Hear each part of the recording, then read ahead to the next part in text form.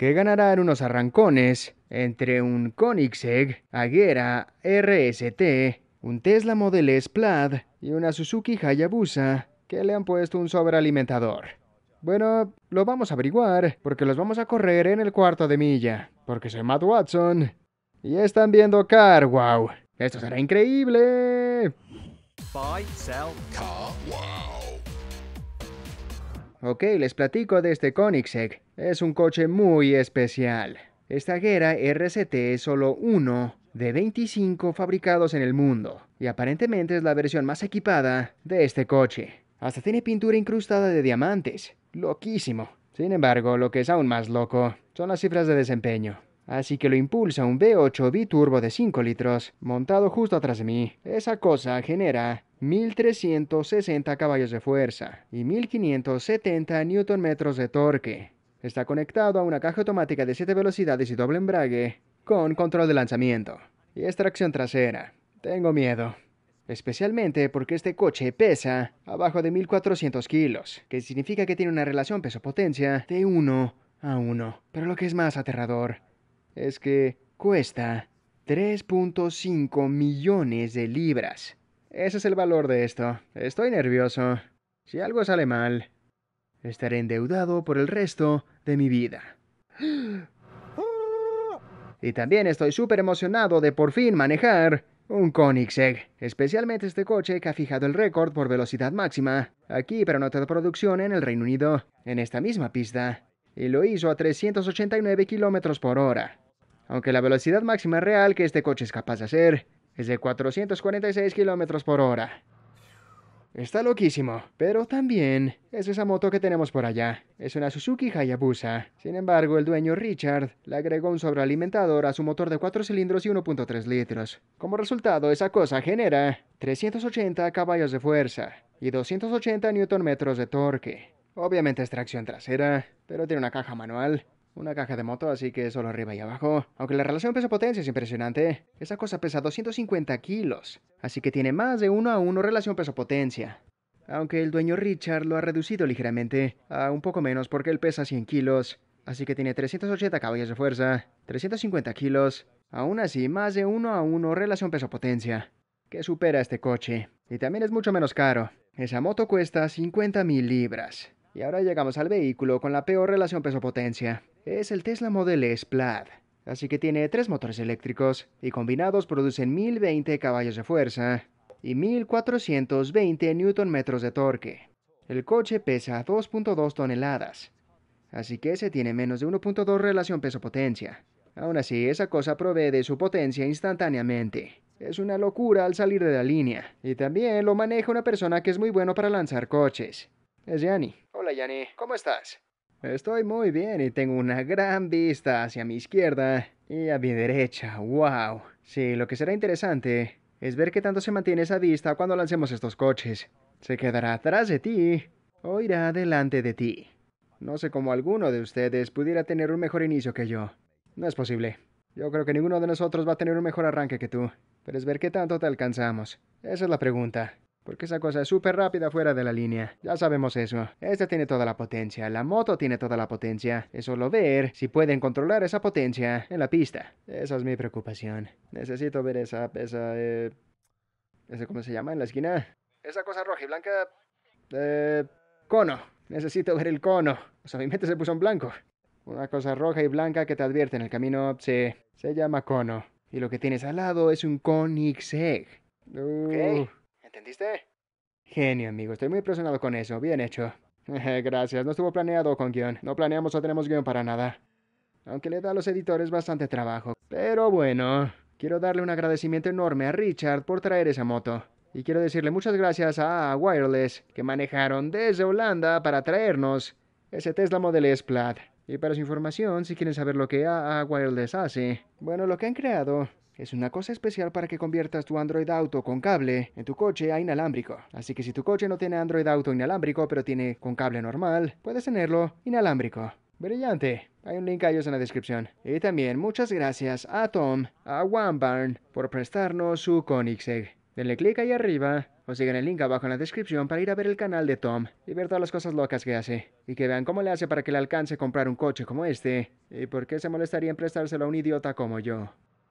Vayan a verlo. Y también un link a su canal en la descripción. Pero bueno, antes de empezar, hay que hacer la clásica prueba de sonido CarWow. Así que voy a empezar a revolucionar este Koenigsegg.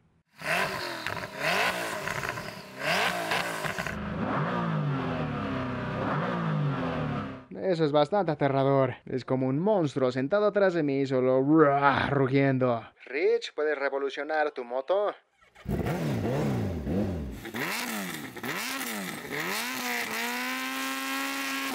Eso suena bien, suena bien. Obviamente, Yanni, tú estás en el auto eléctrico y no hace un ruido. Y lo que hace es reproducir sonidos especiales a través de una bocina. Atrás del parachoques delantero. Pero no nos molestemos con eso. En vez de eso, haremos que tú hagas sonidos de coche Ah, de tu elección. Y asegúrate de ¿Por hacerlo por el radio para que Rich y yo nos burlemos de ti. Adelante. ¿Por qué? ¿Solo por qué?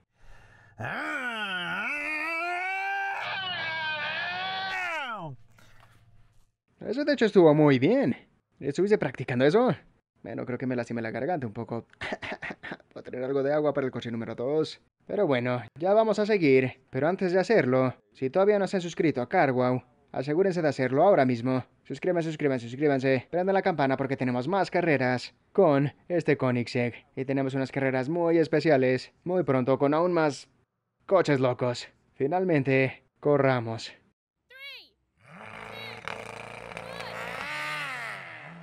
¡Vamos!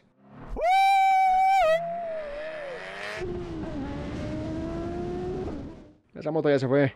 ¡Vamos!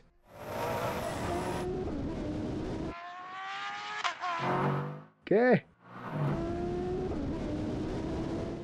¡Wow! Esa moto va por todas partes.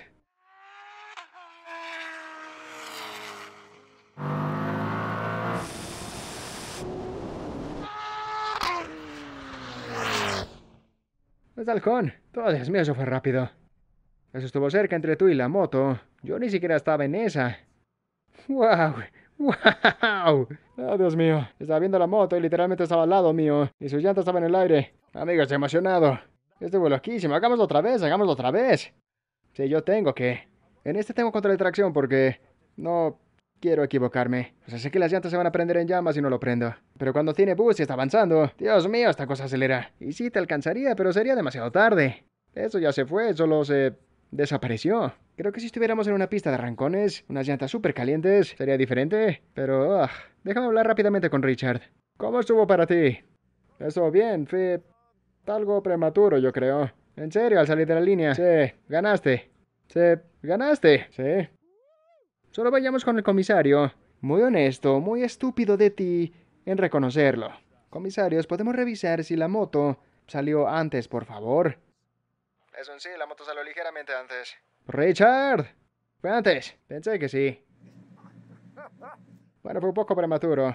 Ese es 1-0 para mí. No lo haremos otra vez. Así que, Yanni, ese fue tu primer lanzamiento en un Model Splat, ¿verdad? Literalmente acabo de calmarme a un nivel normal. No creo haber experimentado algo así en mi vida. ¿O se me olvida algo, Matt? ¿Alguna vez hemos lanzado algo tan rápido como esto? No, está loquísimo, ¿verdad? O sea, yo sí. Y si quieren ver qué coche es, denle clic ahí arriba. O sigan el link abajo en la descripción. Aunque me alegra que hayas continuado con tu oración y decir calmarme después de tu primera palabra, porque si no sería muy grosero. Pausa. Pero bueno, ojalá Richard no saldrá antes en esta, para que tengamos una carrera real. Y obtengo el mejor lanzamiento en este Koenigsegg. Vamos, Egg. Sé un buen Egg.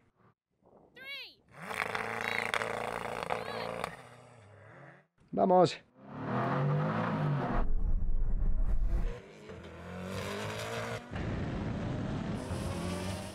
Vamos. Estoy lejos. Vamos. Vamos. Estoy lejos.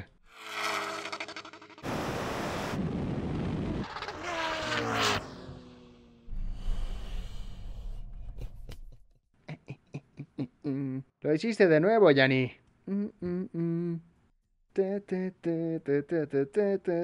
¡Hey! Yo sé que esta cosa es mucho más rápido que eso. Es solo que no está enganchando en el lanzamiento. Ah, voy a hablar con Richard rápidamente para ver qué pasó. Tu lanzamiento fue tan bueno como la primera vez. El lanzamiento fue igual de bueno, pero fui muy lento. Así que tienes que encontrar ese balance entre no salir antes y no irte a dormir. Sí. Muy bien, hagámoslo otra vez, porque siempre es dos de tres. E ignoraremos tu primera carrera, porque fue tu primer intento, en unos arrancones Carwow. Así que, Yanni, eso es 1-0 para ti, ¿ok? No vamos a contar la primera, porque Richard nunca había hecho unos arrancones Carwow. Así que, ¿qué estás diciendo? ¿Lo vamos a hacer otra vez?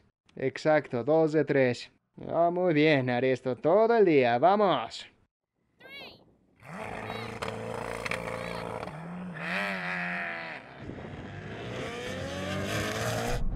Vamos.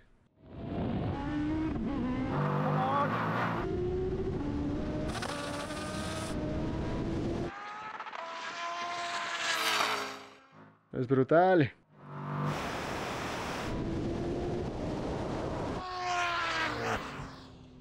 Yanni, tú ganaste, así que tomaré eso como un 2-0 para mí. Así que Richard, ¿cómo estuvo para ti?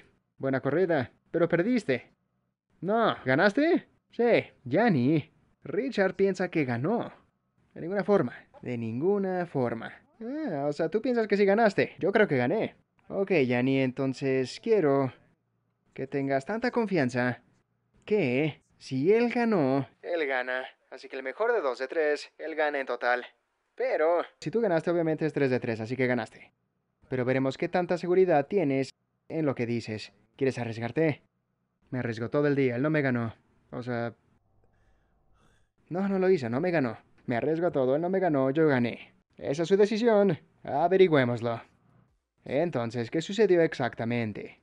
Bueno, parece que Yanni no debió de haber apostado, porque el Suzuki de hecho ganó.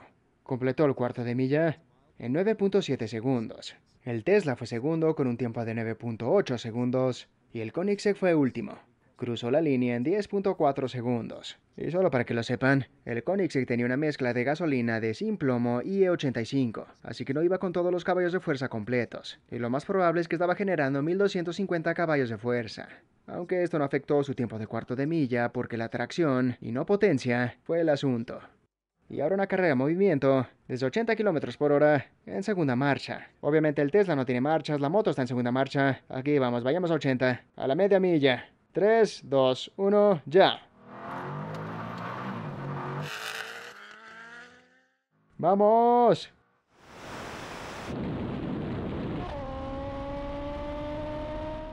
Solo la moto. Estoy bien, estoy bien. Estoy bien. ¡Oh, no! ¡Wow!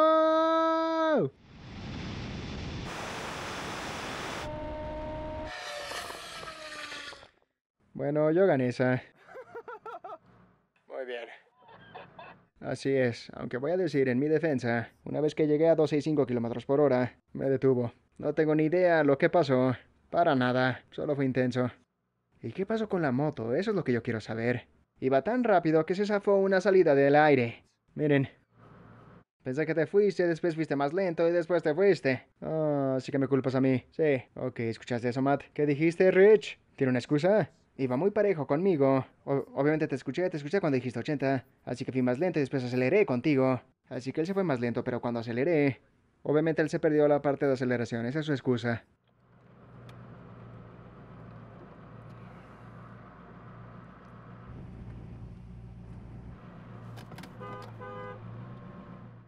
No está tan cerca, Matt, cálmate. No te cagues los pantalones. Ok, tres y medio millón de libras. Es mejor que yo me cague los pantalones y jugar a lo seguro, o dejarlo que accidentalmente pegue contra el coche. O sea, se pudo haber metido un camión entre la moto y el coche. No estaba ni cerca de ti. Pero yo no estaba seguro de si lo estaba o no. Y no estaba seguro si lo vio, así que... Así que por seguridad, no será mejor para jugar a lo seguro. O debería apostar y decir que gané cuando no lo hice, y de hecho perder todo. Creo que está grande su moto, pero él sabe qué tan grande está. Eh, espera, espera, espera, pegas. No, es, es broma.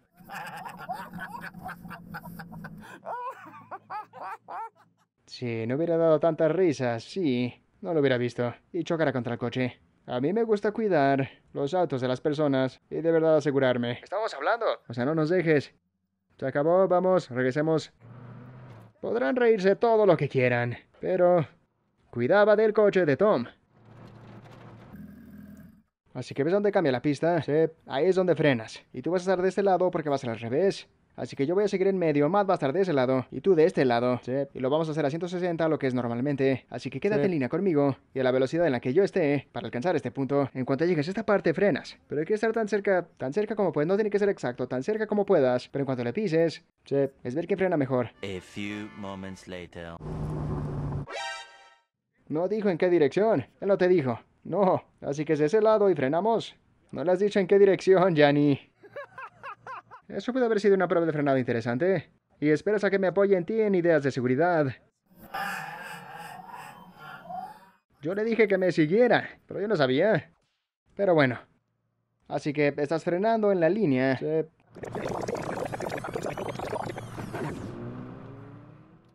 Yani. Ay, ¿qué pasa? ¿Qué está pasando aquí? ¿O no sirve mi puerta?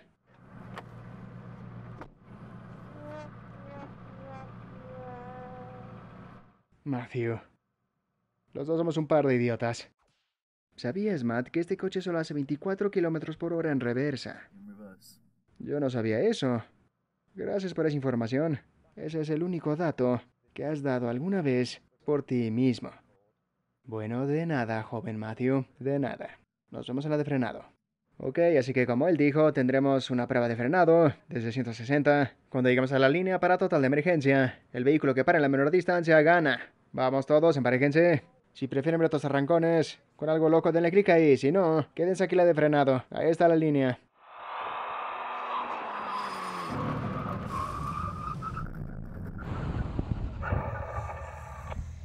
¡Sí, gané! ¡Sí, Richard sigue ahí! ¡Sí, nos está volteando a ver! Y Yanni, a ti no te fue tan mal. Todo es del pie izquierdo. No está mal considerando lo rápido que es este coche. Los frenos no están tan mal. Sí, está bien para una sola vez, pero los frenos pronto se desvanecen si frenas, frenas, frenas, frenas y se sobrecalientan. Necesitas unos frenos especiales de alto rendimiento si quieres ir como a la pista con ese coche. ¿Qué piensas del frenado de Richard? No está muy bien, ¿verdad? Para ser justo, le están dos ruedas. Hay que asegurarse de que no te caigas. Freno en la llanta delantera solo se tuerce y con la trasera se derrapa. ¿Cómo estuvo para ti? Lento. Funcionó bien, pero así son las cosas. ¿Eso dio miedo? No. ¿Y si frenaste duro? Sí, el freno delantero estaba chillando. En serio, sí. Pero tiene ABS, así que solo me anclé lo mejor que pude. Estoy manejando en círculos. Es la historia de mi vida. ¿Eso cómo estuvo? Muy bien, lo disfruté mucho. Esta es una de las carreras más agradables. Este coche está demente. ¿Y ya has tenido un auto eléctrico antes, un Porsche Taycan, Turbo S? ¿Eso te impresiona más? Sí. ¿Alguna vez considerarías tener uno de esos? Como una alternativa de coche de diario. 100% no. 100% que no. Bueno, sí. ¿Por qué? Es aburrido. Aburrido. Eso es todo. Una sola palabra. Aburrido. Mm. Este no. Este está loquísimo. Bueno, obviamente es un poco más caro. Es un poco más caro. Esta cosa está absolutamente loco. Y creo que el azul es tu color, amigo. Azul, sí. Azul Carwow. Sí, yo llevo azul. Combino con el coche. Una última cosa por hacer. Este es el dueño, Tom. Hola. Así que muchas gracias a Tom aquí por prestarnos su coche. Asegúrense de seguir el link en la descripción para ir a seguirlo a su canal. ¿Cuál es? One Barn o One.barn. One.barn. Vayan a verlo, links en la descripción. Más de este coche y más de otros coches locos que tiene. Y si van a seguirlo por ahí, él nos dejará hacer unos arrancones con esta guerra contra otros coches en el futuro. Así que vayan a su canal y síguenlo ahí porque eso nos ayuda bastante.